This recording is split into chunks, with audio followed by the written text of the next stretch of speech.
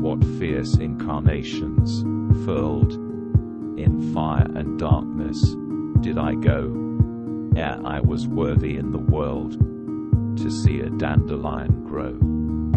Well, if in any woes or wars I bought my naked right to be, grew worthy of the grass, nor gave the wren, my brother, shame for me.